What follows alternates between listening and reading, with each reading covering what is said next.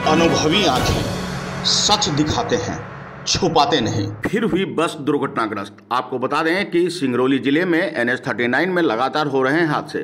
कुछ दिनों पूर्व भी दुबे ट्रेवल्स की बस हुई थी दुर्घटनाग्रस्त। आपको बता दें, दर्जनों यात्री घायल हुए थे। घायल आज फिर से कैब ट्रेवल्स की बस सीधी से बैडन जयंत जा रही थी। देवसर के करथुआ में फिर हुई दुर्घटनाग्रस्त। घायलों को देखने का अवसर अस्पताल में पुलिस अधीक्षक सिंगरौली विदेन्द्र प्रताप सिंह, कलेक्टर राजीव रंजन मीणा, जिला पंचायत सीईओ साकेत मालवीय, एसडीएम देवसर आकाश सिंह, जिला पंचायत अध्यक्ष अजय पाठक देवसर अस्पताल पहुँचे। बता दें कि मरीजों का इलाज चलाया जा रहा है।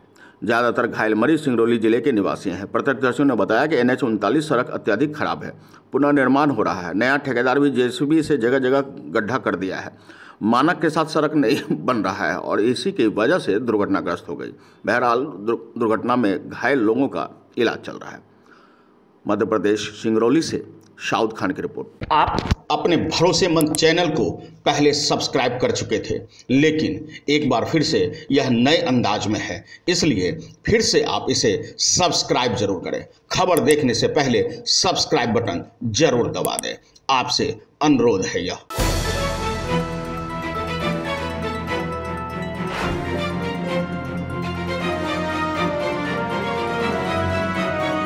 अनुभवी आँखें। सच दिखाते हैं छुपाते नहीं।